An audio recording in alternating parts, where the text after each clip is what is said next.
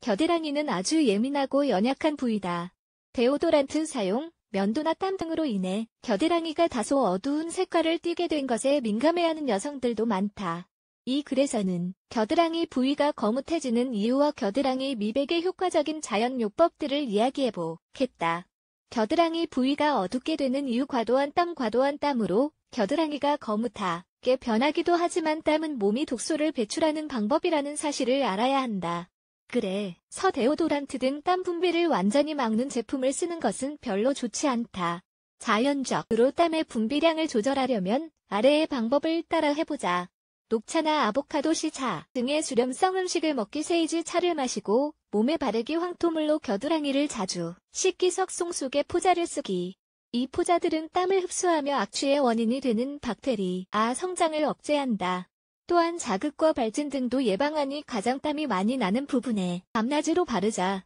하지만 아물지 않은 상처에는 바르지 않아야 한다. 정서적으로 긴장 했을 때에도 땀이 많이 난다. 각질 축적 피부는 끊임없이 재생되기 때문에 때로는 축적된 각질을 제거하기 어려울 때가 있다. 이를 막기 위해서는 1에서 2주에 한 번씩 베이킹소다로 각질을 제거하자. 자극을 피하려면 면도나 제모 전에 하는 것이 좋다. 각질 제거 후에는 물로 헹구고 보습크림을 잘 바른다. 알코올이나 강한 향이 들어간 제품 사용 이렇게 자극이 강한 제품들을 겨드랑이에 많이 쓰면 좋지 않다. 겨드랑이, 의 피부는 아주 얇고 면도나 제모로 겨드랑이 털을 제거하면 피부가 더 예민해진다. 전, 면도는 유기농 제품을 쓰자.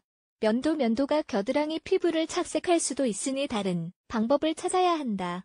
waxing이 가장 이상적이다. 왁싱 제모 후에는 크림이나 aloe vera gel 등을 발라서 자극을 가라앉힌다. 마시는 차 겨드랑이 부위가 지저분하면 염증이 생길 수 있다. 습기가 차기 좋은 부위이니 깨끗하고 건조한 상태로 유지해야 한다. 또 tea tree 성분이 함유된 deodorant를 쓰면 박테리아와 곰팡이 등을 예방할 수 있다. tea tree essential oil을 보습 크림과 섞어 매일 겨드랑이에 바른다. 옷과의 마찰아, 축과 끼이는 옷은 피부를 자극해서 겨드랑이 착색을 일으킬 수 있으니 이러한 자극을 유발하는 합성 섬유 재질의 옷을 피한다. 어깨나 끈 부분이 꽉 끼이는 옷도 마찬가지다. 겨드랑이 미백에 도움이 되는 자연요법 집에서 흔히 볼 수 있는 음식과 천연 제품으로 겨드랑이 미백 효과를 볼 수 있다. 레몬 레몬은 죽은 세포를 제거하고 착색된 피부를 점차 밝게 만들어준다. 또 데오도란트의 역할까지 하니 매일 레몬을 활용해 보자. 방법은 다음과 같다. 레몬을 반으로 잘라서 겨드랑이에 문지른다. 레몬즙이 마 를 때까지 기다렸다가 옷을 입자. 하지만 최근에 면도했다면 피부에 자극이 될 수 있으니 레몬을 사용하지 않는다. 감자즙 겨드랑이 미백에 효과가 좋은 감자즙에는 표백 성분이 있어서 감자를 갈아서 화장 솜에 묻힌 뒤 겨드랑이에 문지르면 된다.